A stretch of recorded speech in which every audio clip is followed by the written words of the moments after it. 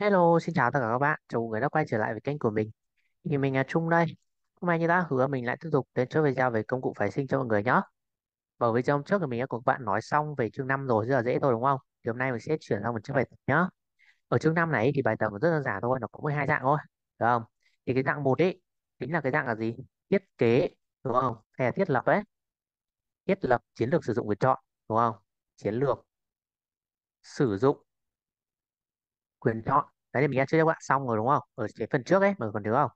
thiết lập chiến lược sử dụng quyền chọn ấy mình đã chỉ các bạn ngay trong phần uh, lý thuyết rồi. Khi mà nói đến những cái quyền chiến lược ấy có ba chiến lược mình đã chỉ hết rồi đúng không? Thì bây giờ mình sẽ đến dạng 2 nhá. Đấy chính là cái dạng cuối cùng. Được không? Dạng 2 rất là dễ thôi. Đấy là xác định trạng thái quyền chọn này. Xác định trạng thái quyền chọn. Thế mà vậy thì phải nó hay hỏi dạng hai này hơn được không? Trạng thái quyền chọn tức là trạng thái là OTM, ATM hay ITM đấy đúng không? Cái quyền chọn là cái thứ nhất. Và thứ hai là gì? Giá trị nội tại giá trị thời gian, được không? Giá trị nội tại trị thời gian là IV với cả TV ấy. Được không? Nội tại và giá trị thời gian. Chưa? Xong nhá. Đây là dạng hai chúng ta. Ok chưa nào? Xác định trạng thái quyền chọn, giá trị nội tại và giá trị thời gian. Đó. Thì đây mình sẽ chưa cho các bạn hai câu ở trong phần này nhá. Đấy là bài số 8 và bài số 9 giờ mình đã để ở đây rồi các bạn thấy thấy đúng không? Kiểm tra trước lần lượt của các bạn. Hai bài này. Đầu tiên chúng ta xem bài số 8 này. Một quyền chọn mua vàng. Biết rằng giá vàng hiện tại là 1.500 đô trên một ao. Giá thực hiện K là 1940 đô trên một ao. Thời hạn hợp đồng là 6 tháng. Phí C bằng 2.500 trên một quyền chọn. Biết một quyền chọn tương ứng với 100 ao vàng. Quyền chọn này đang ở trạng thái nào? ATM, ITM OTM đúng không? Tính giá trị nội tại giá trị thời gian của quyền chọn. Đấy đúng không? Chỉ là cái dạng này rồi đó, và tính toán tương tự trong trường hợp giá là như này. Rồi, xác định trạng thái giá trị nội tại, giá trị thời gian. Với giá thực hiện là từng này, đúng không? Thì nó vẫn là một câu hỏi thôi, nhưng nó hỏi với nhiều cái, đúng không? Ok, thì bây giờ nhá, chúng ta sẽ xác định từng cái một này. Bài 8 làm từ trên này rồi nhá. Câu ờ, A này. Chúng ta xem nhá. Bài 8 ta cho là gì? Giá hiện tại là S bằng 1.500 đúng không? Ok ở đề luôn này. S bằng 1.500 1.500 tiếp theo này. Giá thực hiện là 1490. ok. Giá thực hiện là 1490 trên một ao đúng không? Đây 1.100 đô trên một ao nhá. Và giá thực hiện là gì? Là K đúng không? K bằng 1.490 đô trên một ao đúng không? Đó. Còn gì nữa không? Phí đây, phí là 2.500 ok. C bằng 2.500 thời hạn 6 tháng. Rồi. C bằng 2.500 ok, là mình sẽ ghi lại những cái gì để cho nhá. C bằng 2.500 đô trên một quyền chọn đúng không? Và gì? Một quyền chọn là mua 100 áo vàng đúng không? Ok, một quyền chọn. Thì sẽ mua là cái gì? 100 ao vàng. Chưa? Rồi nhá. Và bây giờ ta xem này. Câu A, người ta bảo là gì? Quyền chọn đang ở trạng thái nào, đúng không? Ta có nhá. Ta có mình sẽ nói này ta à, có là gì? S0 bằng bao nhiêu? S0 đây bằng 1500 đúng không? 1500 và K bằng bao nhiêu? K bằng 1490 1490 thì chúng ta phải hiểu đây đúng không? Đây là gì? Đây là người ta làm sao? Ờ chúng ta xem là người ta đang có lợi hay đang bị thiệt thôi, đúng không? Thì đây là gì? Quyền chọn gì? Câu 8 này là quyền chọn mua đúng không? Quyền chọn mua. Đấy, và người nắm giữ đây, chúng ta xem quyền chọn mua là gì? Mua theo giá K và bán là giá ST đúng không? Đây là giá K đây. K là 1.490 ST là 1.500 đúng không? Thì người nắm giữ rằng đang có lợi, đúng không? Người nắm giữ đang có lợi ta phải nhớ nhá, đây là quyền chọn gì? Và ta xem là người ta có lợi hay bị thiệt, đúng không? Đang có lợi, ok. Đang có lợi. Khi thực hiện quyền, đúng không? Khi thực hiện quyền.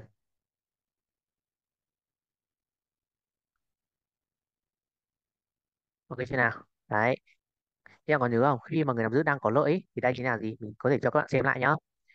Người nắm giữ đang có lợi khi thực hiện quyền sẽ là ITM đúng không? Ok. Vậy là đây là đang là ITM xong nhá. Đó, xong rồi. Được không? Và đây người ta bắt được tính gì nữa? Tính giá trị nội tại, giá trị thời gian của quyền chọn này. Ok, mình sẽ tính nhá. Giá trị nội tại này. Giá trị nội tại là gì? IV. Đúng không? Giá trị nội tại IV.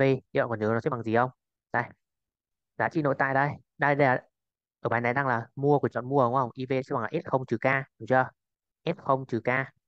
Đó, sẽ bằng bao nhiêu nhá? Ta xem này. S0 đây là 1500 trừ K đúng không? Ok.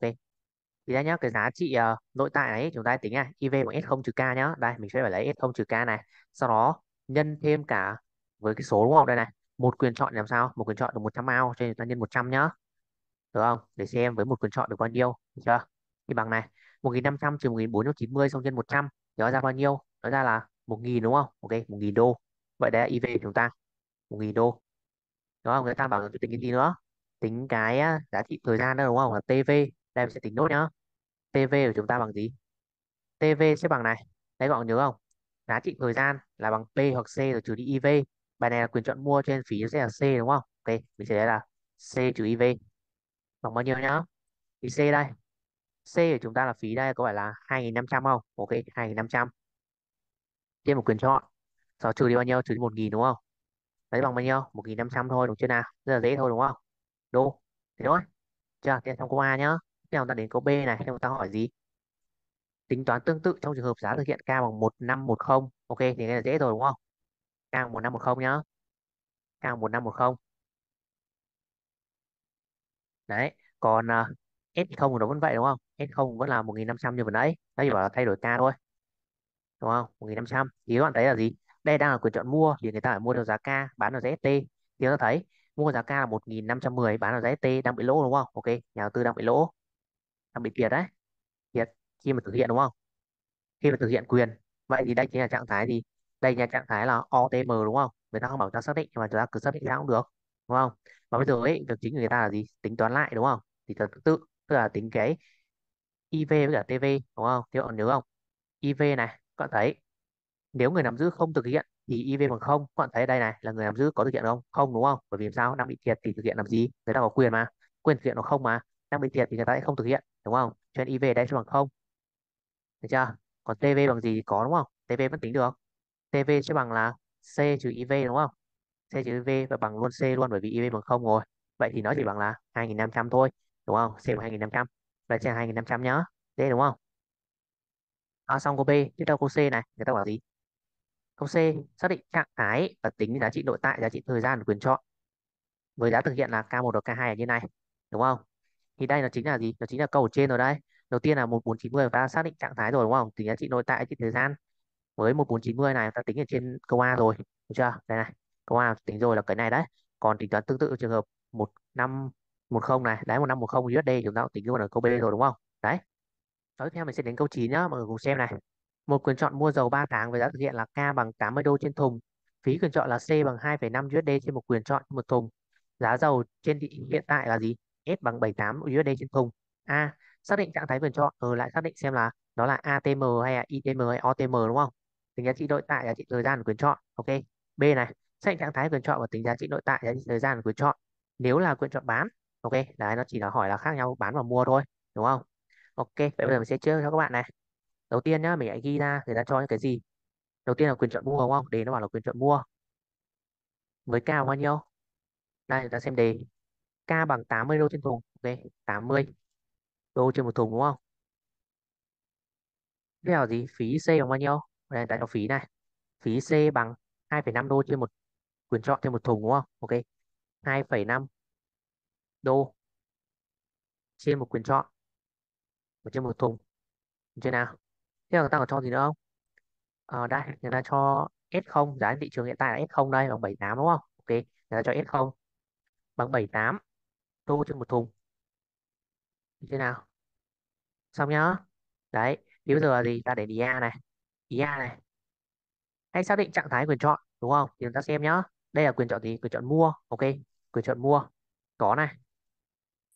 K bằng 80 và S0 báo tàu S0 đây là gì? Là 78 đô trên một thùng, đúng không? Ok, đây là 78, đúng không? Thì chúng ta suy ra nhá, đây là quyền chọn gì? Quyền chọn mua.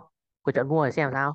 Xem mua theo giá K đúng không? Đây là quyền chọn mua sẽ được mua theo giá K và bán theo giá S0 đúng không? Chúng ta thấy là mua 80 bán được 78 thôi thì nhà đầu tư đang bị sao? Đang không có lợi đúng không? Ok. Nhà đầu tư đang không có lợi. Không có lợi khi thực hiện quyền. Chứ nào? Khi thực hiện quyền nhá. Nó sao còn nhớ không? Khi mà không có lợi thì sao? Đây mình sẽ chỉ cho các bạn xem này này. Không có lợi khi thực hiện quyền đấy là OTM đúng không? Ok, vậy đây là trạng thái là gì? OTM xong nhá tiếp theo là gì người ta bảo ta là xác định cái gì nữa xác định cái giá trị nội tại và giá trị thời gian đúng không ok mình sẽ xác định thôi thì ở đây ấy, mình sẽ xác định nội tại trước IV bằng gì bằng không đúng không bởi vì không có lợi thực hiện quyền tức là không thực hiện quyền mà các bạn còn nhớ không khi nhà đầu tư mà không thực hiện quyền thì IV bằng không. Xong nhá còn cái TV luôn có đúng không? TV bằng gì? TV đây là đây là quyền chọn mua đúng không? Quyền chọn mua đây sẽ là C trừ đi IV chưa? Thì C đâu các bạn thấy 2,5 đúng không? Ok chúng ta lấy 2,5 trừ đi gì? Trừ IV trừ đi không này. Chưa? Bằng 2,5 đô thì thôi. Được chưa nào giờ dễ nhá. Đó xong rồi. Đây xong câu A. Thế giờ đến câu B này. Câu B chúng ta cùng xem này xác định trạng thái của quyền chọn và tính giá trị nội tại, giá trị thời gian, nếu quyền chọn đấy là quyền chọn bán, đúng không? Ok. Người ta đổi lại thành quyền chọn bán, đúng không? K bằng 80 được chưa? Ta chỉ cần đổi cái quyền chọn mua thành quyền chọn bán thôi, đúng không? Với K bằng 80 nhá. Thì ta sẽ nhận xét tương tự như thế thôi. Có là gì? Ta có là S0 vẫn bằng 78 đúng không? Còn K là bằng 80 đúng không?